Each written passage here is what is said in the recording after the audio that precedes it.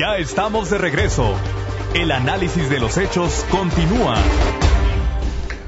La región lagunera sigue siendo, lamentablemente, una de las zonas más violentas de nuestra entidad federativa. Durante el transcurso de esta semana se llevó a cabo otro episodio sangriento. La víctima, un agente del Ministerio Público. Y cada vez es mayor el número de funcionarios de los diferentes niveles de gobierno que pierden la vida a manos del crimen organizado.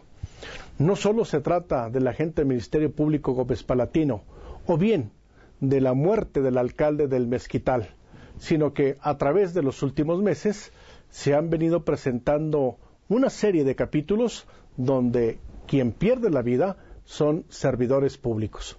Mi compañero Martín Saúl Ceniceros nos presenta la estadística del número de funcionarios que han perdido la vida de manera violenta.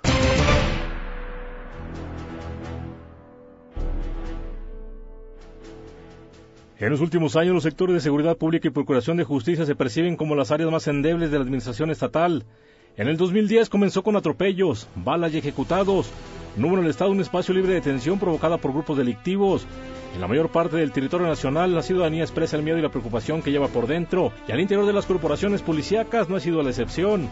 Las medidas de fuerza implementadas por el gobierno federal contra el narcotráfico, los operativos militares y policíacos en los últimos años detonaron la violencia en todo el territorio nacional, incluyendo a Durango.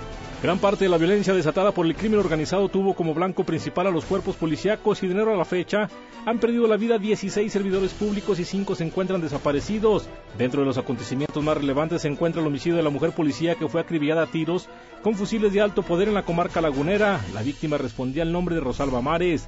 Asimismo, en este mismo municipio de Gómez Palacio, que está considerado como uno de los más violentos del estado, el agente del Ministerio Público Manuel Acosta Cervantes resultó lesionado por proyectil disparado por arma de fuego cuando realizaba una diligencia. Días después dejó de existir.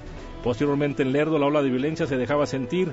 En este lugar fue privado de su libertad un elemento de seguridad pública. Horas después se localizó decapitado en las inmediaciones de la plaza. Y en un asalto a Telecom en Guanaceví perdió la vida un agente de seguridad pública que custodiaba la camioneta en la que transportaban los apoyos del programa de oportunidades. En este hecho también perdió la vida un funcionario municipal. Y en el Mezquital Durango, elementos de la Agencia Estatal de Investigación destacamentados en esta zona fueron emboscados por un grupo de presuntos sicarios cuando se encontraban en la comandancia, dejando un saldo de dos agentes muertos. Mientras esto pasaba en el mezquital en Vicente Guerrero, un comando armado atentaba contra las oficinas de seguridad pública que dejó un saldo de un policía muerto y varios lesionados. Y cuando la mayor parte de la ciudadanía pensaba que estaba todo bajo control con la llegada de las fuerzas federales y los megaoperativos militares, en Gómez Palacio el 5 de marzo fue asesinado el agente del Ministerio Público Javier García Rodríguez, titular de la mesa especializada en robos de vehículos de la Subprocuraduría de Justicia de la región Laguna, y que falleció al recibir atención médica. García Ramiro recibió varios impactos de arma de fuego en diferentes partes del cuerpo cuando se encontraba en las afueras de su domicilio. El representante social tenía varios días de haber tomado este cargo. En la mayor parte de esas muertes violentas se presume que el crimen organizado está involucrado. Las autoridades no han esclarecido estos homicidios que deja muy en claro que la delincuencia organizada ya superó las autoridades, como se ha dado en otros estados de la República. El riesgo de los servidores públicos cada día va en aumento, inclusive en algunos municipios debido al peligro que presenta, piden su cambio a otra zona y en otros mejor se regresan. Esperemos que las autoridades encargadas de la impartición y procuración de la justicia esclarezcan estos hechos violentos que alertan a las corporaciones policíacas así como a la ciudadanía. Informó para investigaciones especiales Parálisis Político en la lente Guamaya, Alberto Sauceda, con la producción de Efraín Vázquez, reportero Martín Saúl Ceniceros.